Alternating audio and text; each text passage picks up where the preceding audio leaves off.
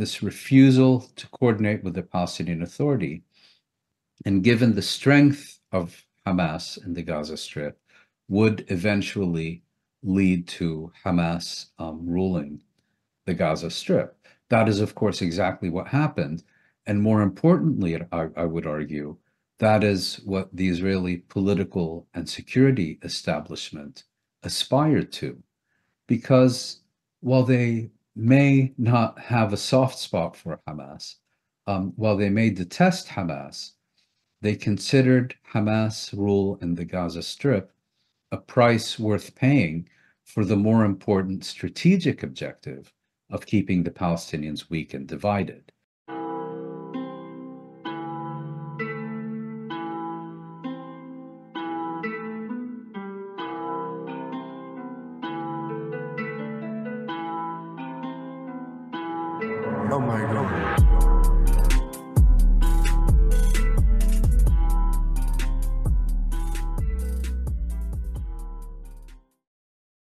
Everyone. Welcome to Artifact 54. Today, I'm joined by Mouin Rabbani, who is an analyst of the Middle East in general and Israel Palestine more specifically. The first time we had a conversation was actually in almost a year ago, actually, uh, uh, December 2022, with Norman Finkelstein, Mouin, and other Palestinian refugees. And the reason why I wanted to do that conversation is I, I definitely had an uneasy feeling about the Middle East simply because it was too quiet, at least superficially, despite the fact that at any given day, you could find expulsions of Palestinians, uh, ethnic cleanse- cleansing going on. You had violence against Palestinians in the West Bank. So it, it definitely felt like something big was going to happen. Uh, we had plenty of Haaretz uh, headlines, for instance, all through 2023, indicating things like, you know, there might be a, another intifada coming, something is coming, something is coming. And then October 7th occurred. And uh, Mouin actually also just, uh, he contributed an essay to a, a, book that was just released by uh, Or Books, that's OR Books, uh, titled Deluge, Gaza and Israel from Crisis to Cataclysm. I'm actually going to order it uh, after this conversation. I'm going to use it for a video essay that I'm working on on Palestine. Hopefully, it's going to be done sometime the end of January. Um, and maybe we could just sort of start the conversation where we uh, left off uh, last December. Do you agree with my assessment that um, what felt at the time was just this kind of like totally untenable, uneasy piece that really was not a piece at all? Like it, it seemed as if something uh, big was was uh, happening. And maybe what were your feelings uh, at the time?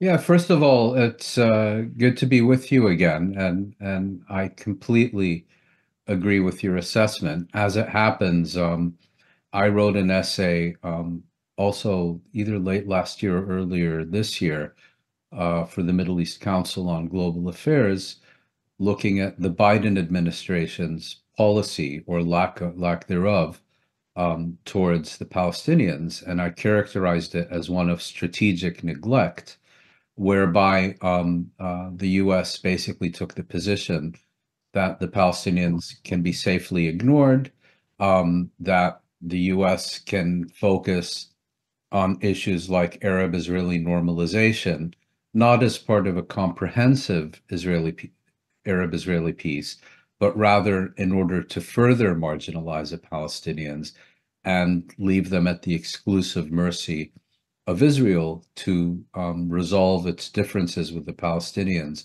by brute force unilaterally on the basis of um, the gross imbalance of power between them. And I concluded that this strategic neglect was um, uh, driving um, the region towards an abyss at increasing speed. I, of course, had absolutely no clue um, about how this was going to erupt and explode, but it seemed fairly certain um, that um, uh, that the situation was untenable over the longer term. And I think it's in significant part in that context that we have to understand the horrific uh, crisis that we're experiencing now. And so immediately prior to um, let's just say October 7th. Uh, so first of all, I, I, I recall reading um, there was an essay by the uh, Jewish, uh, you could call him, you know, he's he's somewhat a pretty uh, pro-Palestinian now. He maybe started 10, 15 years ago, uh, fairly on the side of Israel. But Peter Beinart uh, in America, he wrote this essay in 2020 on Joe Biden's uh, policies towards Israel. The fact that during the Obama administration, he was just very much intent on taking some of Obama's instincts on the matter, such as, you know, uh, I'm not sure how serious Obama was, but Obama, uh, the received wisdom at least, is that he uh, had a soft spot for Palestinians, and um, Biden was kind of instrumental in pushing him further and further uh, right uh, on that question. So, um, and this was, you know, this was written, I think, even before uh, the election occurred. but anyway, so let's say a, a, year or two, maybe three years prior to the, the Hamas attack, uh, what were the significant uh, events leading to it? Um, was there any kind of pushback uh, within Israeli society or Israeli government against some of the more, you know, obvious flagrant abuses of power, such as the fact that, you know, uh, just you know, even before October 7th through 2023, we had at least dozens of Palestinians, uh, it seems, that were killed in the West Bank. There was settler violence. It doesn't seem like anybody ever gets prosecuted unless maybe there might be some sort of, um, you know, like maybe throw somebody to the wolves, right? In the same way that there was a prosecution for the use of Palestinians as human shields by Israel during Cast. Um, but there, you know, it's kind of like essentially a slap in the wrist. So, what were those substantial events? and what was the, the the, response of Israeli society? Because because one thing that is kind of interesting to me is how um, you know, if you were on social media for the last few years, you could not be pro Israel in any kind of way because for years at that point, it's not as if Palestinians were very, very seriously resisting the occupation, right? All kind of world opinions on their side. And honestly, even after October 7th, I, I thought it would take longer than a week for Israel to be completely, you know, a pariah again. But it, you know, it was it was more or less a week. So, what were those uh, events leading up to October 7th that stand out in your mind, maybe then or perhaps in retrospect? Well, I'm, I'm glad you mentioned Peter Beinart's essay because purely by coincidence, I came across it um, last night. And he makes the argument that um, in the Obama administration, Biden was basically Netanyahu's point man in, in, in the administration, and that um, uh, it was Biden more than anyone else who um, repeatedly argued against um, any uh, measures, no matter how benign, that the U.S. may have been um, considering um, to not so much to change course, but at least to address the worst excesses of Israeli policy towards the Palestinians. And this included, for example, announcing major settlement expansions, just as Biden's plane was landing in uh, Tel Aviv. He was consistently arguing um, for the U.S. to use its veto power in the UN Security Council against so much as a slap on Israel's uh, wrist. And I think the article is interesting, not only for what it tells us um, about the Obama administration's um, policies towards Israel, but also about the current crisis, because during the past year, and particularly as um, Netanyahu has been um, promoting his uh, legislative agenda to overhaul the Israeli judiciary and essentially um, transform Israel from an ethnocracy into an autocracy, um, we've constantly been hearing reports about uh, um, how much the Biden administration and Biden personally mistrusts Netanyahu, um, that they even um, detest him as an individual. And you know, when you read these the article and you look at the current policy, you can only come to one conclusion, and that is that Netanyahu must be thinking, well, with enemies like these, who needs friends? Um, and to get to the second part of your question, I still don't have an explanation for the timing of Hamas's uh, attacks on October 7th. Because on the one hand, um, they don't appear to be in response to a specific event or incident. And at the same time, I think it's important to recognize that preparations for these attacks um, must have started before the current um, radically extreme right wing government uh, led by Netanyahu uh, took office. All indications are that the um, preparations for this attack, or at least the conception for them, began in the aftermath of the 2021 Unity Intifada, which I think is significant because that represented the first time that it was Hamas rather than Israel that initiated an armed confrontation um, uh, between the two. And it's also significant that Hamas initiated that confrontation for reasons that had nothing to do with Israeli policy towards the Gaza Strip or Israeli policy towards Hamas.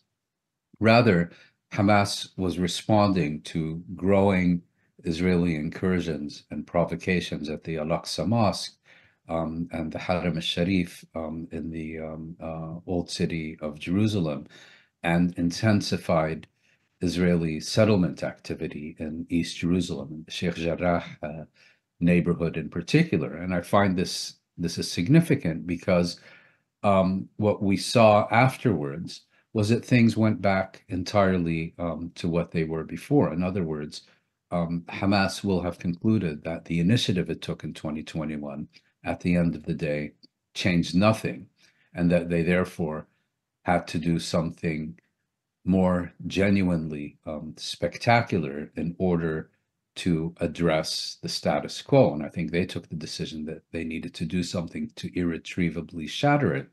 Now, what were their um, uh, motivations? Well, um, again, I would point to the intensified Israeli unilateralism by which um, Israel, with the active support of the US, with the passive acquiescence of the Europeans, increasingly turning into active support, um, Israel was basically seeking to um, resolve the question of Palestine unilaterally on the basis of the gross imbalance of power between the parties, seeking to secure its own claims and interests through the application of brute force without any reference to either Palestinian rights, Palestinian interests, not even um, going through the motions of seeking to negotiate with any Palestinian party. It was basically, you know, seeking to um, uh, implement its own version of how this issue should be um, permanently resolved. And I think that's one issue that um, um, Hamas sought to address. Another one is we have to remember this is an Islamist movement. And when they say things about um, rejecting growing Israeli encroachments on the Haram al-Sharif and the Al-Aqsa Mosque, um, perhaps um, some people will now, with the benefit of hindsight, conclude that yes, um, we should have taken them seriously when they said that these are issues that go to the very core of of their uh, being and um, interests. You mentioned the growing um, intensification of settlement activity and uh, um, army and settler violence and ethnic cleansing in the West Bank, particularly in the Jordan Valley and the South Hebron Hills, and so on. Um, those were also serious issues. Uh, but overall, I think um, Hamas was looking for a way to once again place a question of Palestine and Palestinian rights at the center of the agenda. Um, and, you know, um, uh, however one evaluates and assesses uh, its attacks of October 7th, I think we can at least conclude that they have placed uh, the question of Palestine after a long absence after a period during which many people had concluded, well, um, it's gone and gone forever. Um, this is not an issue we probably ever have to deal with um, again. It's now been at the very center of the planet's attention um, for well over uh, for well over um, uh, two months. And again, um, these are not responses to the policies of the present government. Um, the difference between this government and its predecessor is really one of degree rather than of kind. And if we look at how um, uh, the West, particularly, was engaging with this issue during the past year, Palestinian rights virtually, or Palestinians for that matter, virtually never entered into the equation. The dialogue between the Americans and the Europeans on the one hand, and Israel on, on Israel on the other, was almost exclusively about Netanyahu's legislative agenda with respect to the Israeli uh, judiciary, because that would have affected the democratic rights of Israel's Jewish citizens. That was a genuine concern that alarmed Western capitals to no end. But, you know, Palestinians, well, they're irrelevant human scum. Um, uh, and their rights and uh, what's being done to them by the Israeli army and its settlers, well, that's not really something that was of particular concern um, to the European Union least of all to the U.S. and so on. Yeah, uh, I, I, think it's kind of telling that uh, in all of Israel's history, um, the uh, Israeli protests, uh, the popular protest protests against the Netanyahu judicial reforms, uh, these were, uh, if not the biggest, and some of the biggest protests. And it's kind of telling that you you never had protests that large, um, pretty much ever, right? R- related to things like Arab rights, Palestinian rights uh, equality, anti-apartheid, right? They, these things seem to be kind of like more and more fringe issues. I mean, I remember when I was in high school and I first started reading about Palestine and I started getting in, inter, interested in the conflict, and um, I, I was reading stuff that was already like very quickly dated right? And the world was kind of like passing me by in a way that I, I couldn't quite tell. I remember uh, when Olmert came to power, they were talking about a two-state solution, and it was obvious that it was not, you know, tenable, uh, a two-state deal, like it would never actually work.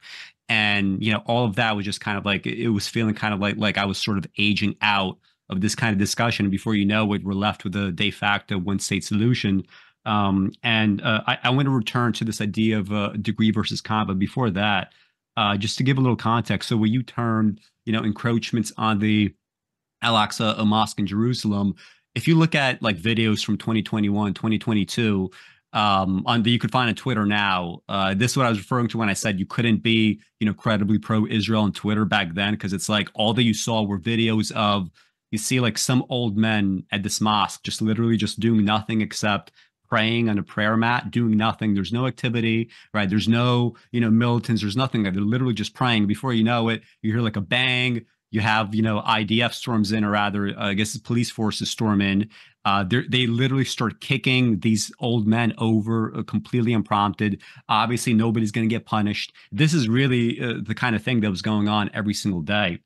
Um, and uh, I have a question about so like uh, th- uh, one thing that Mouin also does on Twitter now is uh, he's definitely one of the best writers of Twitter threads on just like if I have any like if there's some sort of issue that that's come up in the Middle East, uh, he's definitely one of the first pages that I turn to because he will no doubt have an interesting thread that has perspectives that even you know uh, I'm I'm pro Palestine, so is Mouin obviously, but he he offers things that I don't necessarily think about. And one thing that surprised me was um, you said something like you don't really accept the idea that uh, a large part uh, of the motivation for the Hamas attack is to like you know uh, stall or to totally you know get rid of the normalization agreements uh, that was going on with Saudi Arabia at the time, and now they seem to be more or less off the table. Um, can you elaborate a little bit more uh, sure. on that? Sure. I mean, many, many um, observers and analysts in the wake of um, the attacks of October 7th, again, I think because there really wasn't a compelling explanation for their timing, it's not as if they were responding to something that happened on October 6th or um, September 6th. Um, and so these, these attacks, in a sense, could have just as easily taken place a month earlier um, or a month later and left us with the same questions about timing. And I think probably in that context, quite a few observers and analysts pointed to um, uh, the efforts to achieve a Saudi Israeli normalization agreement as a primary motivation for Hamas. In other words, what Hamas was hoping to do with this um, um, attack, not exclusively, but primarily, was to um, scuttle the prospect of such an agreement being reached and consummated.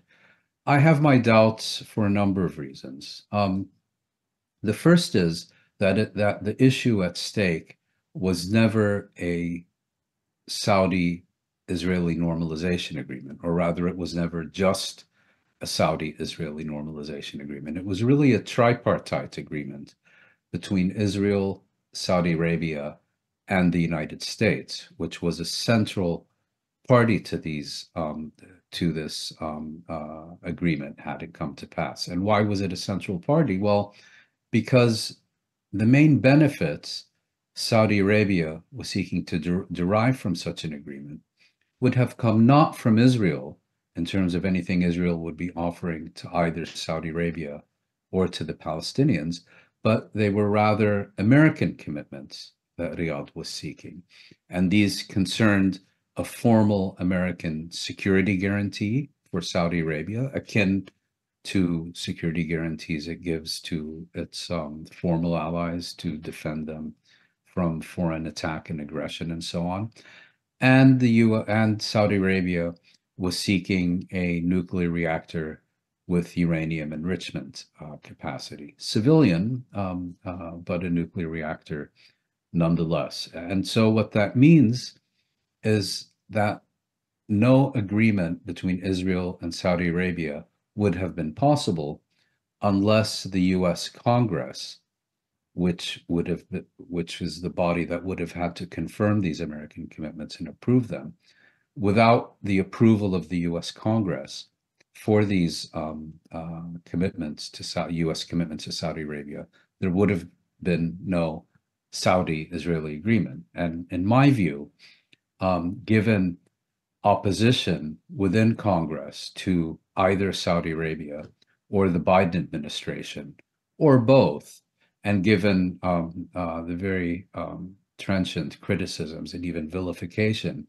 of Saudi Arabia's de facto ruler, Crown Prince Mohammed bin Salman, among um, uh, quite a few members of Congress, um, I reached a conclusion that those commitments were not going to emerge from Washington. A second reason that I didn't think, excuse me, a second reason that I didn't think um, this agreement would come to pass is because part of the package also consisted of Israeli gestures towards the Palestinians, so that the Saudis, um, who face, I think, um, um, a much more engaged and complex public opinion than does, for example, the United Arab Emirates, um, so that the Saudi authorities could claim that they were not selling out the Palestinians, but benefiting the Palestinians by reaching an agreement with Israel. Now, it's true um, that these Israeli gestures towards the Palestinians were primarily cosmetic in nature.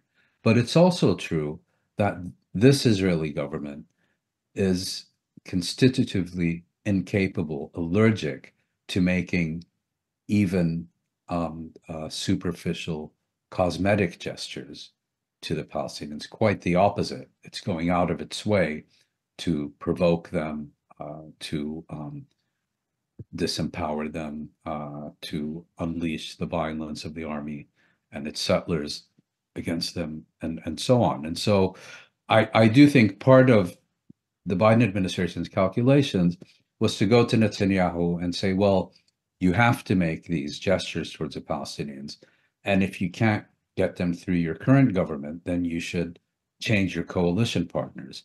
Well even there there's two problems. First of all it's not just um, uh, the radical right-wing members of the government who were commonly described and in some cases, um, describe themselves as fascists that are opposed to these gestures. Netanyahu himself doesn't believe in them. But more importantly, he was not in a position to change the composition of his governing coalition in order to make these gestures, because had he done so, his legislative agenda with respect to the Israeli judiciary, which is of such political and personal significance to him would no longer um, be viable. So my initial assessment was that neither Saudi Arabia nor the nor Israel, for reasons of their own, were um, in a position to make the commitment for such an agreement. But going beyond that, even if I'm wrong, um, and let's assume, for the sake of argument, that this agreement was a viable prospect and was even imminent, um, I'm sure Hamas would have taken 10 minutes out of its preparations to study how previous armed conflicts have affected the process of Arab Israeli normalization. And here we have concrete evidence. So, to take the first and most important Arab Israeli normalization agreement, um, the Egyptian Israeli Peace Treaty of 1979, which removed the most powerful um, Arab military and what was at the time the most consequential Arab state out of the Arab Israeli equation and enabled Israel to unleash its um, 1982 invasion of Lebanon to seek to eradicate the PLO. Well, the 1982 Israeli invasion of Lebanon, culminating in the Sabra Shatila massacres in September of that year, had no impact on the process of Egyptian Israeli normalization. Um, Secondly, if we uh, look at um, the late 1990s and the Second Intifada, these had no impact on um, either Egyptian um, uh, Israeli or Jordanian Israeli normalization. One could even go further and say, well, even the PLO didn't withdraw its recognition um, uh, of Israel or renounce the Oslo Accords in response um, to uh, to Israeli measures during the Second Intifada, up to and including uh, the construction of the West Bank Wall. And most recently, um, we have the normalization agreements, the grandiosely um, uh, entitled Abraham Accords, which remained entirely unaffected uh, by the 2021 Unity um, uh, uprising, uh, as it's called. So I think Hamas would have recognized that the most they could have achieved with the attacks of the 7th of October would have been to postpone the consummation of any um, uh, Saudi Israeli uh, normalization agreement and to postpone it only for the length of a decent interval once the guns fell silent. And with this knowledge, it seems to me a reasonable conclusion um, that Hamas would have decided that that wouldn't be um, uh, worth the effort or worth the price. So I do think that you know the regional acquiescence um, uh, in is Israeli unilateralism towards the Palestinians was a background factor and perhaps even an important background factor.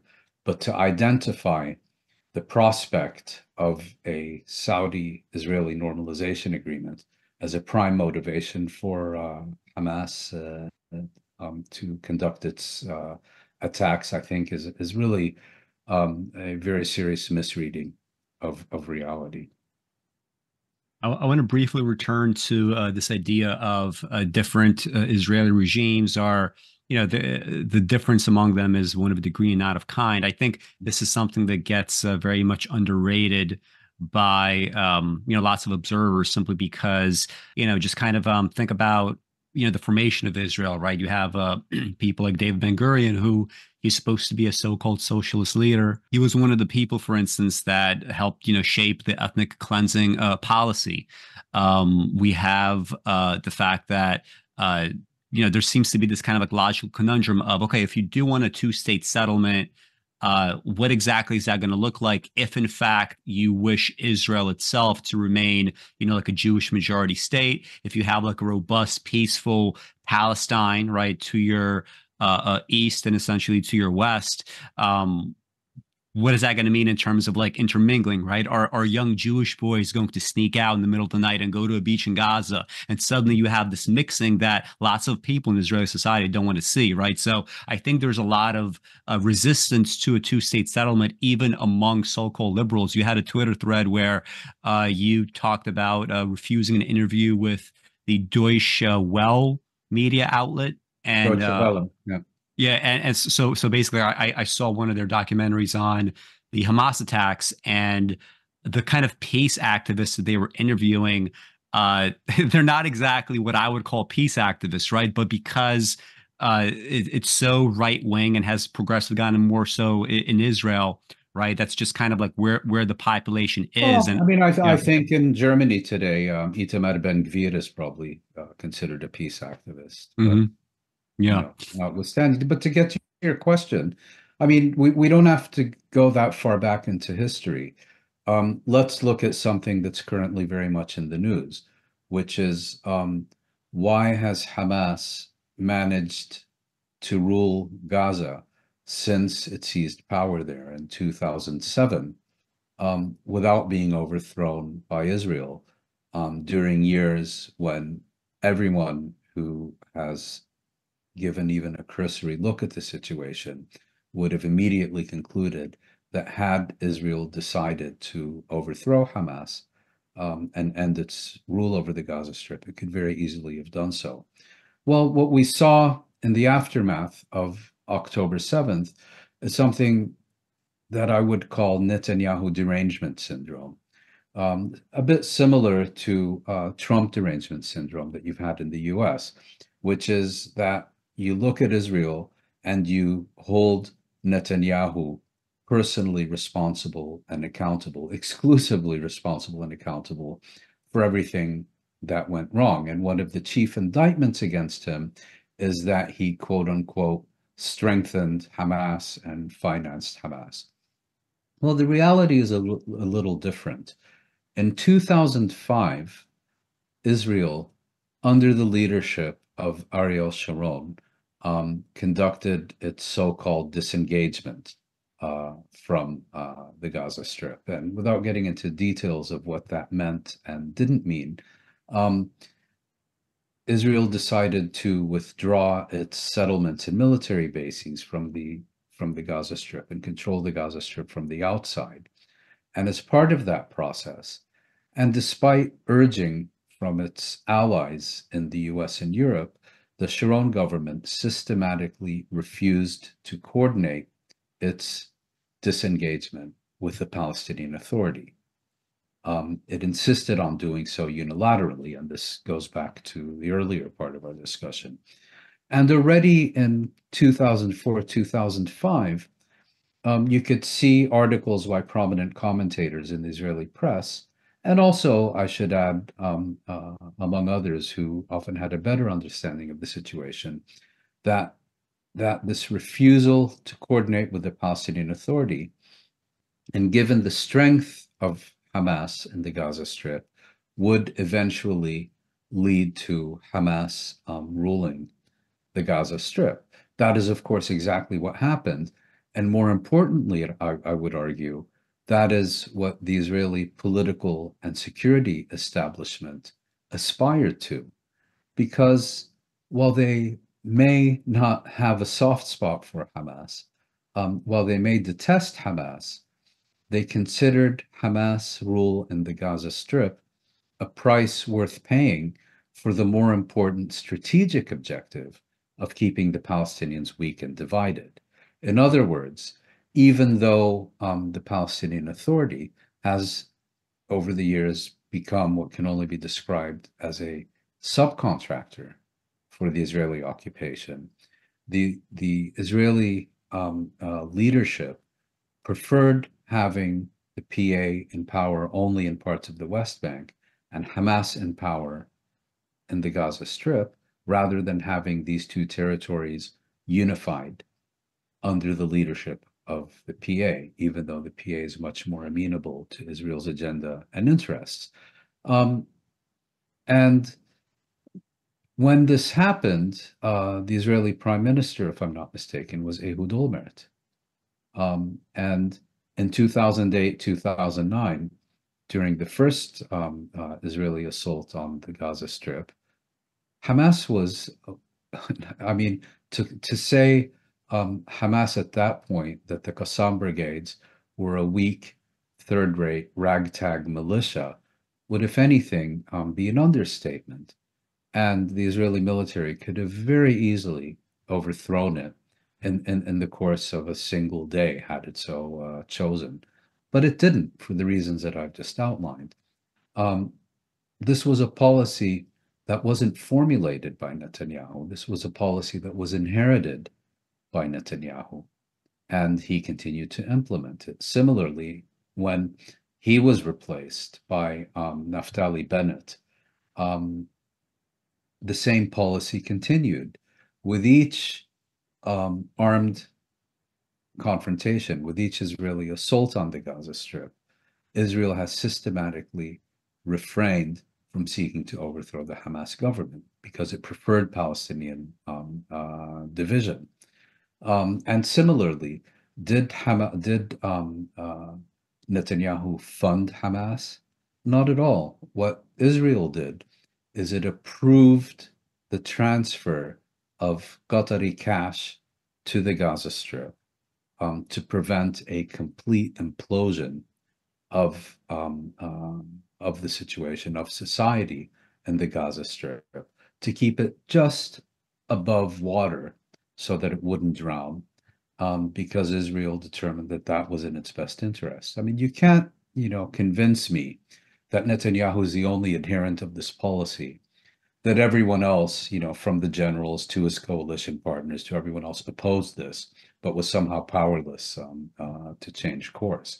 So the point I'm trying to make is, you know, there are strategic decisions that are implemented virtually identically across multiple successive Israeli governments of quite different political color and composition. We're constantly hearing now is that the only reason this war is continuing is because Netanyahu needs this war to stay out of jail. Well, that doesn't really make sense. I mean, of course, there's going to be accountability at the end of this war. And regardless of the severity of his failings, Netanyahu is not going to be imprisoned um, for Israel's failures on October 7th.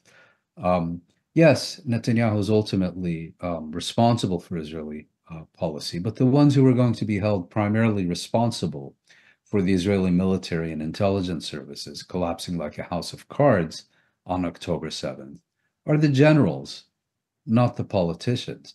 And while you can make a persuasive argument about how it's in Netanyahu's personal and political interests to continue this war, I would argue the ones who have an even greater interest in continuing this war until something, anything is achieved, are the generals, because they are the ones who are seeking to conceal the stain on their reputation that they incurred on October 7th with massive amounts of Palestinian blood.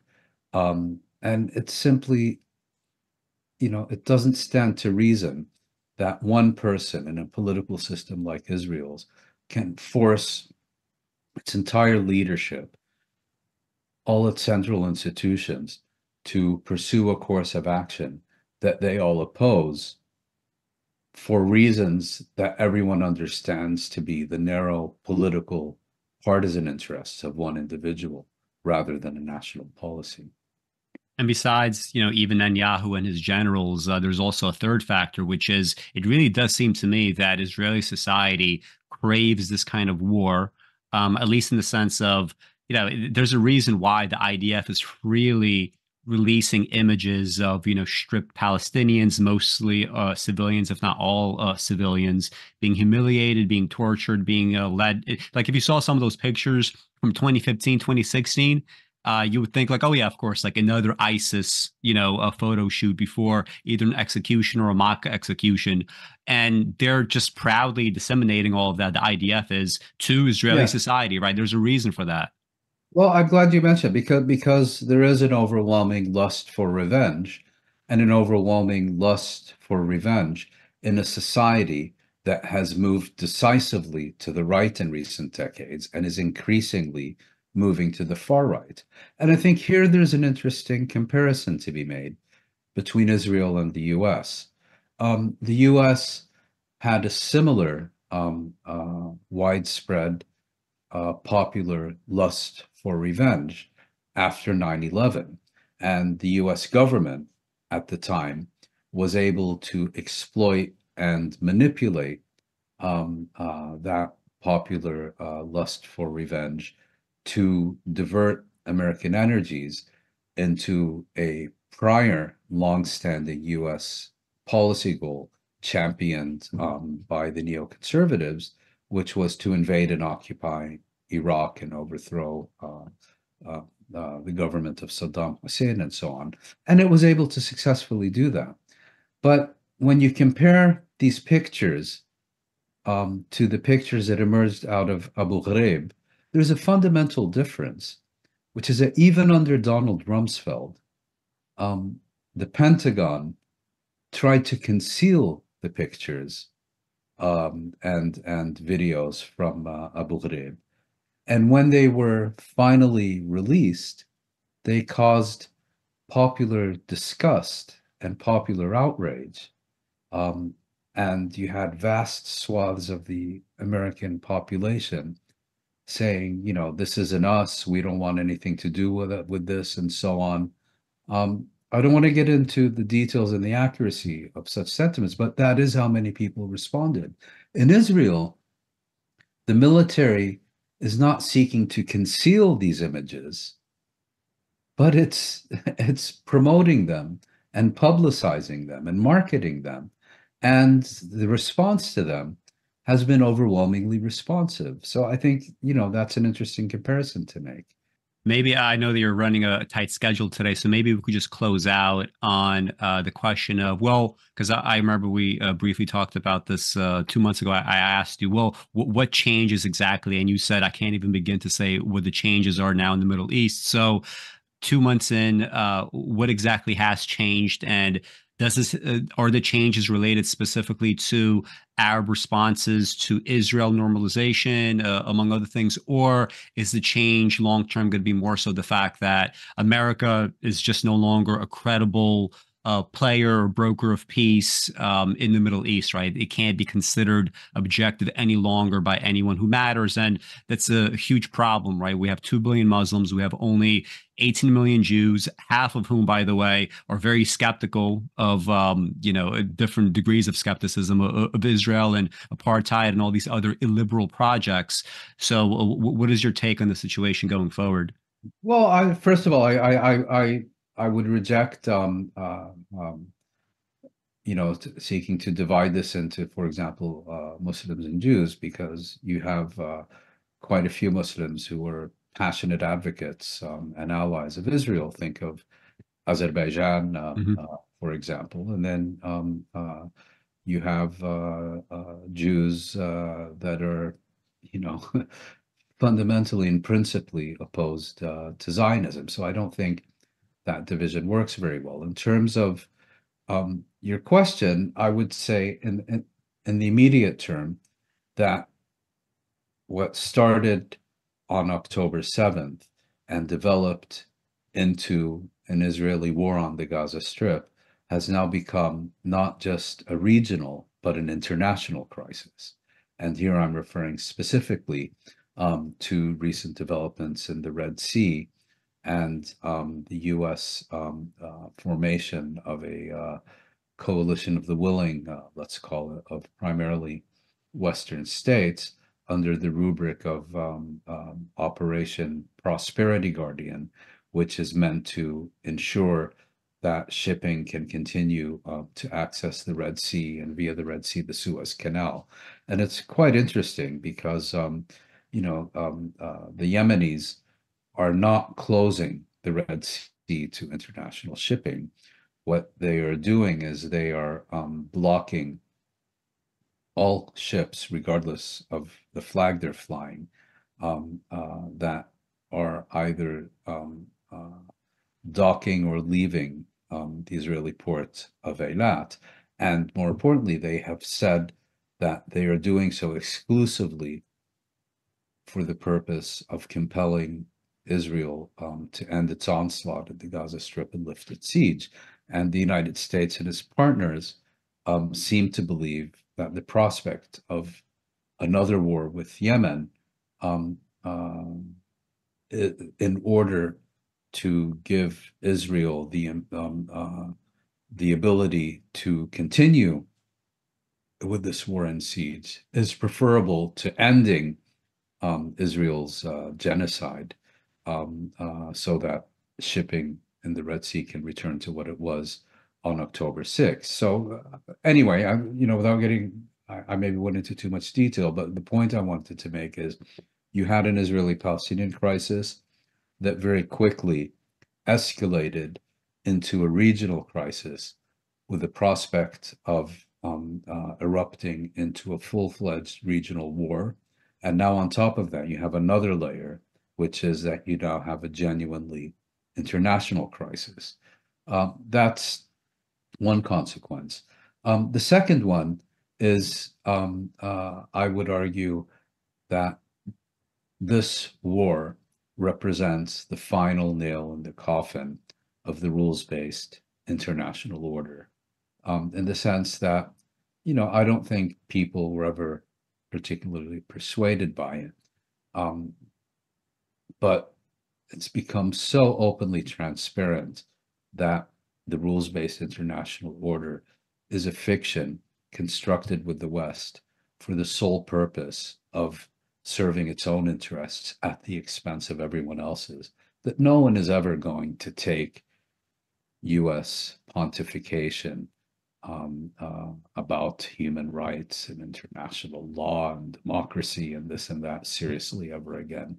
I think, you know, if if in the past people felt compelled that they had to take US and European criticisms about these issues seriously and provide them with substantive responses, I think moving forward, and rightfully so, any um, any uh, U.S. or or European pontification of this issue will be contemptuously um, rejected and uh, dismissed, with a simple reference to Gaza and um, U.S. and European complicity and active participation um, uh, in in genocide.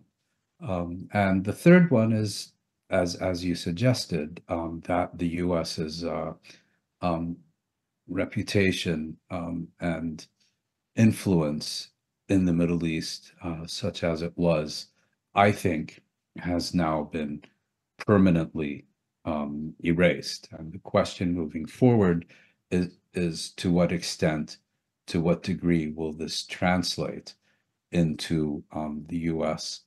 U.S. interests in the region also uh, being affected because the phenomenon I'm describing exists very much at the popular level, but has yet to translate into either the adoption of these attitudes and sentiments um, by governments in the region um, or a situation in which governments that or and leaders that do embrace these um, sentiments and attitudes replace existing ones? And those, I think, are much more difficult questions to answer. Well, thank you, Mouin, for uh, doing this. Hopefully, uh, maybe uh, next month or so, I, I should uh, uh, finish that book. Maybe we could get you and perhaps some of the other writers involved uh, to do a discussion here of the contents of the book. Um, I'm looking forward to reading it. So, thank you for taking time out to join me here. Thank you guys for sticking through with everything and we'll see you soon. Thank you.